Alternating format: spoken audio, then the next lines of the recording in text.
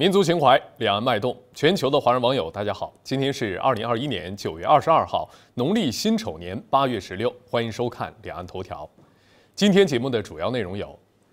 解放军在美舰过航台湾海峡同日与台岛实兵演练，回应挑衅；美军将领曾密电中方，保证不会开战。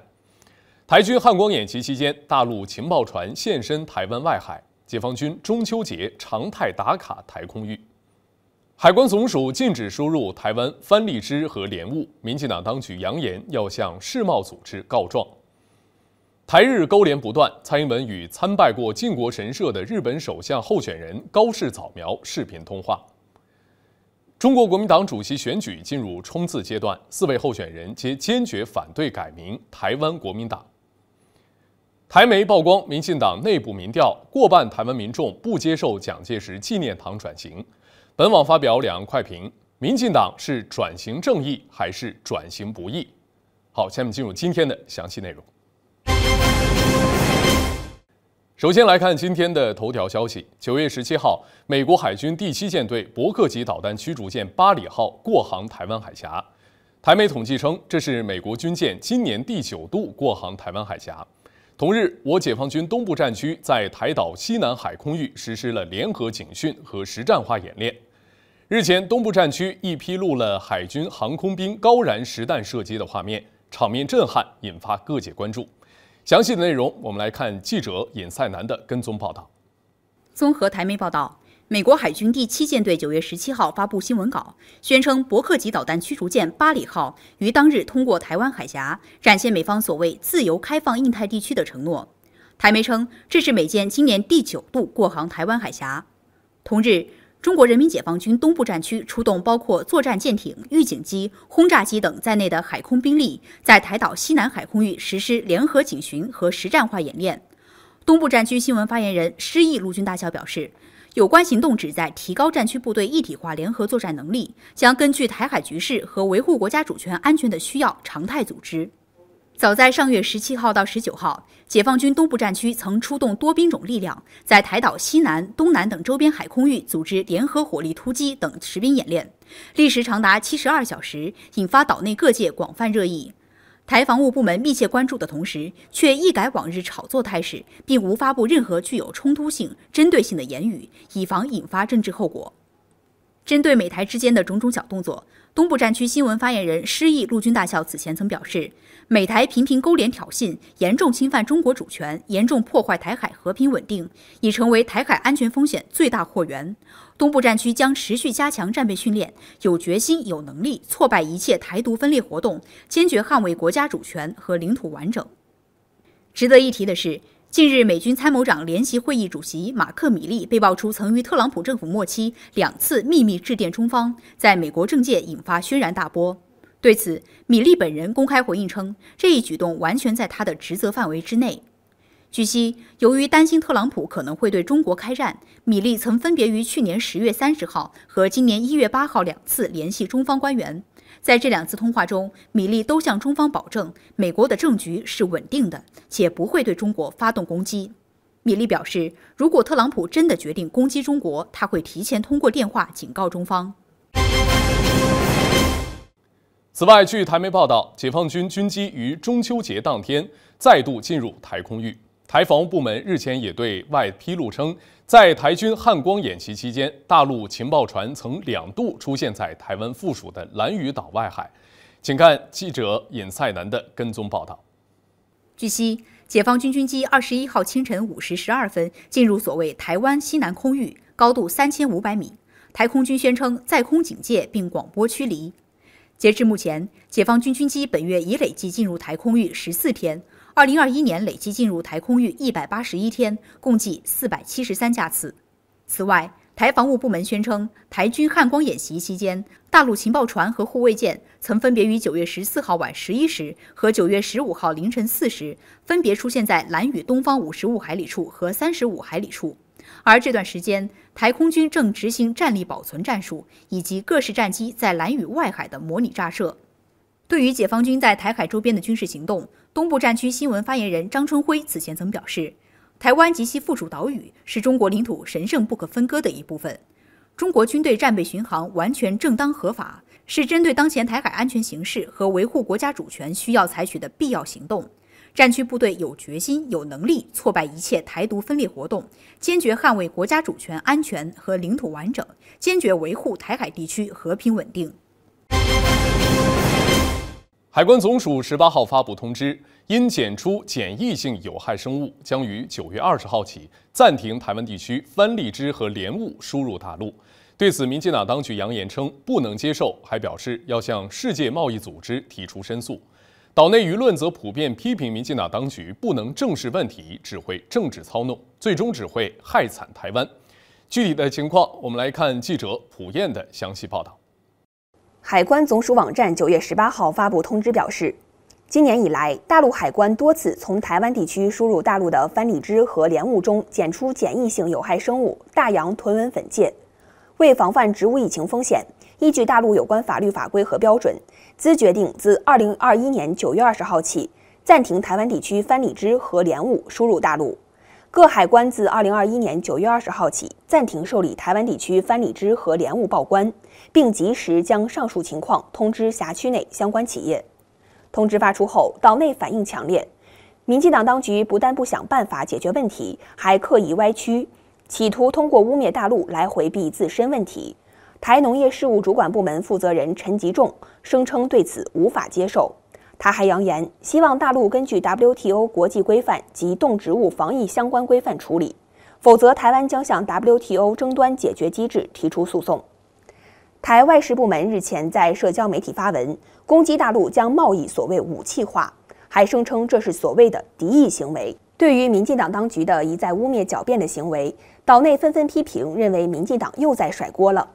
有舆论指出，把关不严，不检讨检疫流程，反而指责对方。农作物出口不止大陆，连日本等国都抓过有台湾地区输出农作物病虫害残留的记录。果然又是邀功诿过的官员。中国国民党主席江启臣二十一号批评称，民进党当局不能每次出事就转移焦点，找理由搪塞。如果是技术问题、科学问题，那大家来讨论怎么样来处理。但是政治问题的话，那这个更不应该由农民来承担。中国国民党籍民意代表陈以信则批评指出，蔡英文不与大陆进行协商，反要舍近求远，走 WTO 途径解决争端，是刻意把两岸问题国际化。中国国民党主席候选人朱立伦质疑民进党当局是明白人装糊涂，不愿意面对沟通解决。更痛批民进党当局这是在抗中保台还是抗中害台？台北市长柯文哲在受访时直言，民进党当局做事要务实，不要只会空喊政治口号。告是政治动作的哈，有效没效不知道。但是我刚才讲过，短中长期计划那三个还是要还是该做的还是要做的哈。政治上喊口号，这大家都晓得，但是不要，我最讨厌就是永远只有喊口号，都没有做实事。中国时报二十一号评论称，台湾地区对大陆八百三十项农产品管制进口，其实已违反 WTO 平等互惠精神。若真的诉诸 WTO，不仅旷日费时，且难有具体成果。台湾联合新闻网评论指出，台湾把大陆过去的让利当成理所当然，现在大陆不过是回归正常贸易做法。陈吉仲就像耍无赖的小孩在地上打滚，既要收割反中红利，又要对方让利。天底下没有这么便宜的事儿。其实，台湾地区外销水果因各种问题遭退货已不止头一遭了。早在今年二月底，大陆宣布因查出介壳虫，三月起暂缓输入台湾地区的菠萝。事隔九天，日本食品公司宣布因验出农药超标，下架七百五十箱台湾香蕉。台湾地区销往新加坡的菠萝传出黑心问题，被超市下架；销往日本的也传出褐化黑心现象。新西兰六月因发现一批台湾芒果、荔枝遭东方果实蝇入侵，下令暂停入境。令人匪夷所思的是，民进党当局在面对台湾地区水果遭禁时，却严重双标。台湾水果遭日本、新加坡退货时，陈吉仲称台湾地区水果品质不良是过早采收、运输不当所致，向新加坡、日本品质不符期待的凤梨表达歉意，对新西兰禁止台湾地区芒果表示会尊重。但对大陆正当检疫举措却大肆政治操弄。据台媒报道，前民进党民代郭正亮在岛内节目中披露，根据台湾农委会公布的数据，当时大陆查出有十九件台湾地区番荔枝和莲雾水果不合格后，并没有立即叫停，一直到九月，台湾地区仍没有改善这一情况，才宣布暂停输入。郭正亮直言，相较于新西兰仅仅查出一件就立即禁止台湾地区芒果荔枝入境的情况，大陆已经十分宽容。质疑陈吉仲采取两种截然不同的态度，双标的太明显。关于海关总署宣布暂停台湾地区番荔枝和莲雾输入大陆后，民进党当局指责大陆方面政治打压，损害台湾农民利益。国台办发言人朱凤莲今天对此回应指出，今年以来，大陆海关多次从台湾地区输入的番荔枝和莲雾中截获检疫性有害生物大洋豚纹粉介。均依法采取了退回或销毁措施，并及时向台湾方面进行了通报。该有害生物危及多种水果和粮食作物，一旦传入，将对大陆农林业生产和生态安全造成严重威胁。为从源头上防范植物疫情风险，依据大陆有关法律法规和标准，海关总署决定自二零二一年九月二十号起暂停台湾地区番荔枝和莲雾输入大陆。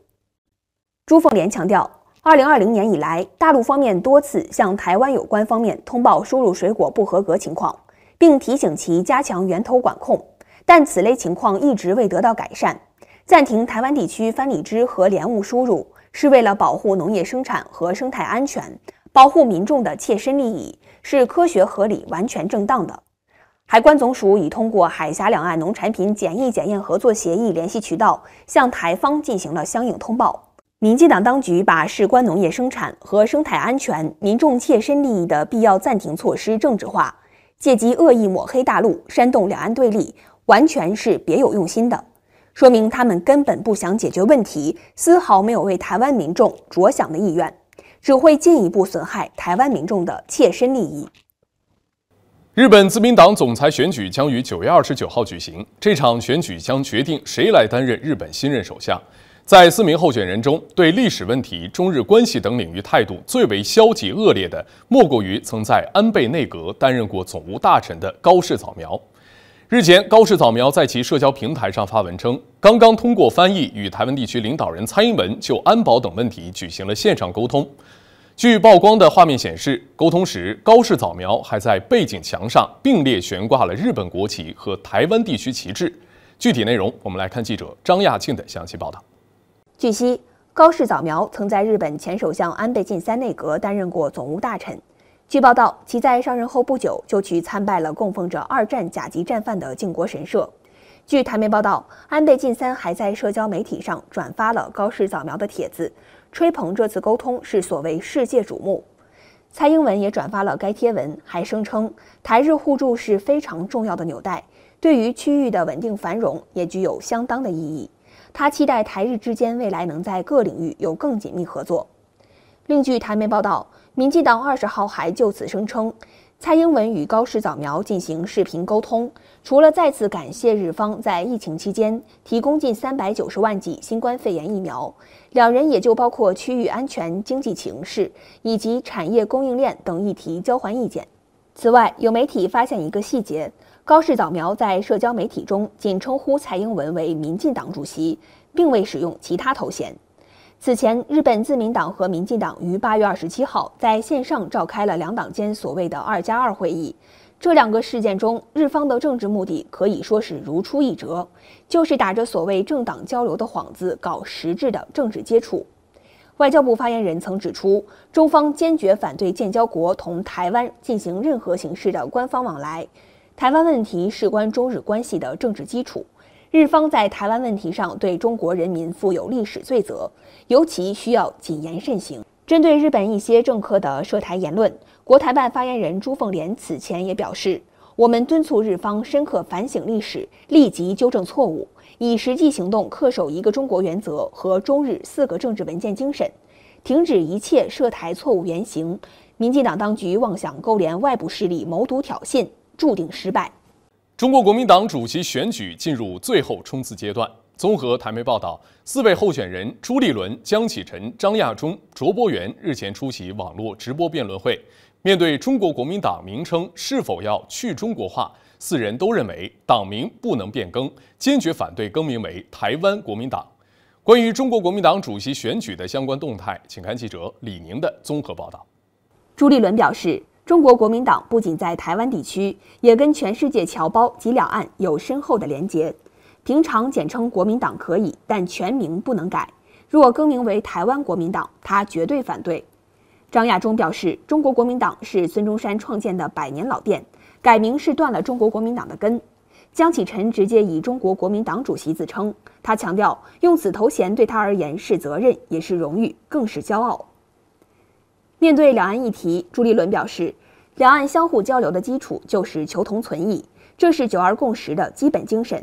他认为，中国国民党现在是在野党，能做的是社会力交流。张亚中指出，九二共识是定海神针，若他当选党主席，会提出和平备忘录，找到双方可以接受的共识。江启臣表示，这些年来政党轮替，九二共识被抹红抹黑。若他连任，将亲自率队赴大陆展开国共高层会谈。卓博源认为，九二共识是两岸重要的和平基础。民进党执政后抛弃九二共识，造成两岸关系紧张。若能进化升华，确保两岸和平及交流，才是人民所期望的。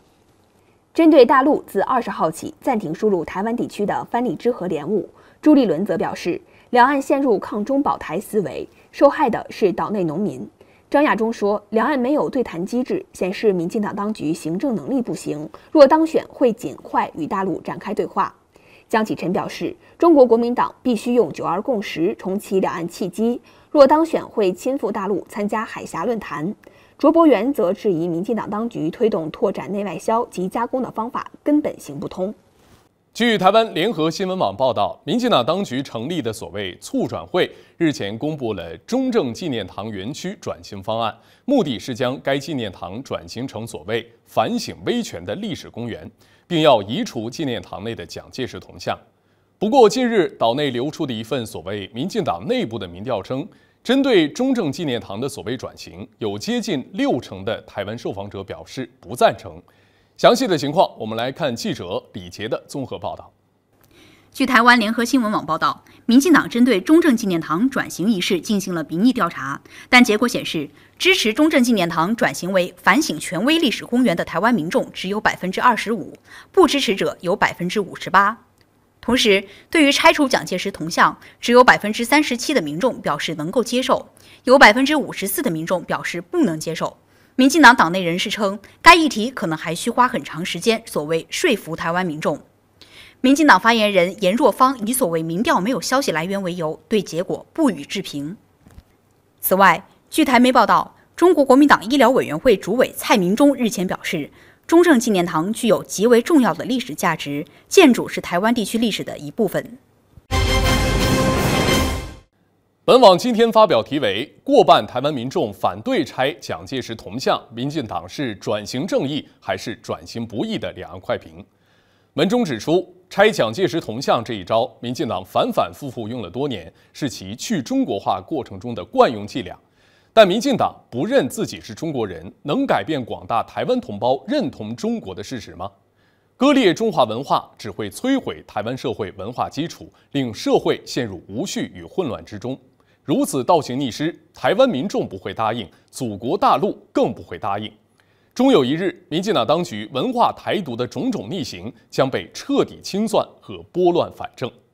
以上就是今天两岸头条的全部内容。更多新闻资讯，请关注中国台湾网，也欢迎网友们在中国台湾网头条号、抖音号、快手号、官方微博等评论区留言互动。再见。